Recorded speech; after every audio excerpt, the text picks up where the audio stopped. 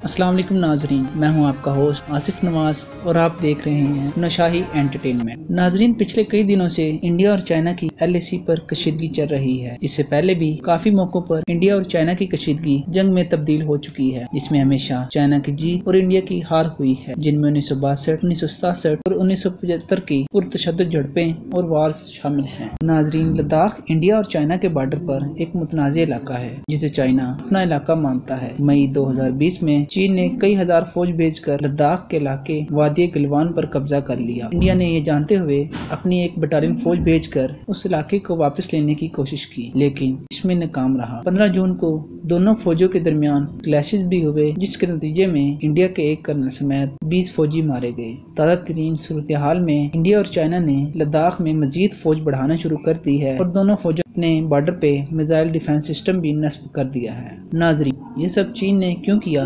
इस कशीदगी का पस मंज़र क्या था? और इसके नतज क्या होंगे? आइए इस सब पे कुछ बात करते हैं। नाजरीन, कश्मीर की तरह लद्दाख भी एक मुतनाज़ इलाका है, जिस पर अकवा मुतहदा की करारदादें भी मौजूद हैं। पाँच अगस्त दो हज़ार उन्नीस में इंडिया ने कश्मीर की खसूसी हैसियत खत्म की, जिस पर पाकिस्तान के साथ साथ चीन ने भी खुलकर मुखालफत की।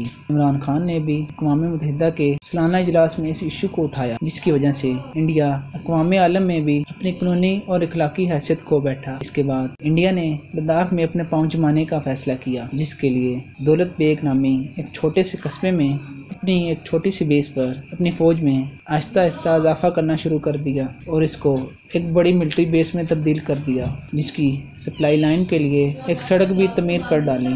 याद रहे कि ये सड़क पाकिस्तान में मौजूद शहर कराक्रम से सिर्फ़ आठ किलोमीटर की दूरी पर तमीर की गई। इस पर पाकिस्तान और चीन चौंक गए। मई के शुरू में मोदी और इसके कई वज्रा ने आज़ाद कश्मीर और गिलगित बल्तिस्तान पर भी हमला करने का इरादा ज़ाहिर किया। इन बयान के साथ साथ इमरान खान ने भी बार बार ये बात दोहराई कि इंडिया किसी भी मिस एडवेंचर का ना सोचे और दुनिया को खबरदार किया कि अगर ऐसा कुछ होता है तो इसका नतीजा पूरी दुनिया भुगतेगी।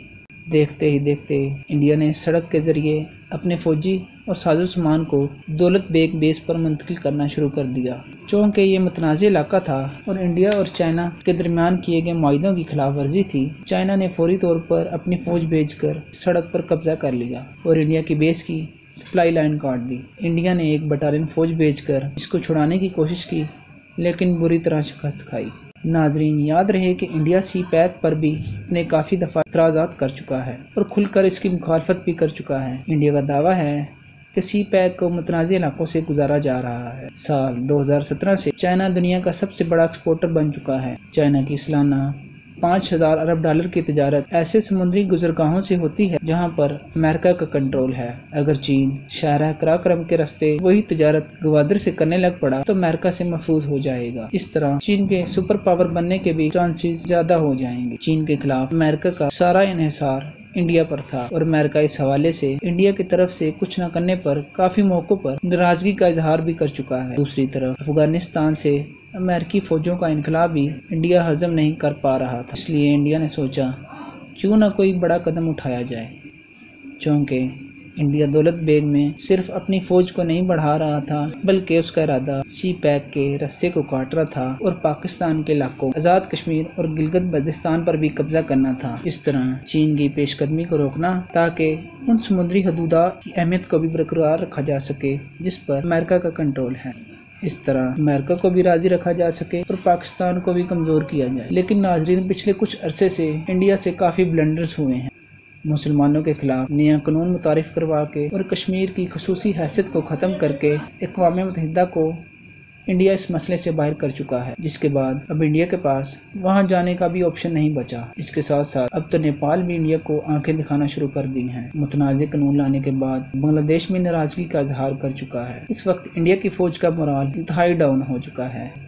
इसी साल खालिस्तान रेफरेंडम भी होने जा रहा है, जिसकी वजह से इंडियन आर्मी में मौजूद 1100 सिख फौजियों ने भी रिटायरमेंट ले ली है। गोया के अब इंडिया के पास सिर्फ़ एक ही ऑप्शन बचा है। जो इलाका चाइना के कब्जे में चला गया है, उस पर सब्र करके सूरत हाल को ठंडा करने की कोशिश करे, क्योंकि चीन किसी भी सूरत कब्जा किए हुए इलाके को छोड़ने के लिए तैयार नहीं। फ़िलहाल, इन हालात में मोदी की यह कोशिश है, अपनी अपोजिशन और आवाम को राज़ी किया जाए। और साथ साथ इस मामले को भी ठंडा किया जाए, जिसके लिए इंडिया और चाइना के दरमियान काफ़ी मौकों पर मुजाकरात भी हो चुके हैं। लेकिन फ़िलहाल दोनों तरफ़ से बर्फ़ पिघलती नज़र नहीं आ रही। देखते हैं आने वाले दिनों में ऊँट किस करवट बैठेगा। नाजरीन, मुझे दीजिए इजाज़त और मज़ीद अच्छी अच्छी वीडियोस देखने के लिए हमारे चैनल को लाइक कीजिए और सब्सक्राइब कीजिए। आपका होस्ट आसिफ नवाज़, दुआ में याद रखिएगा।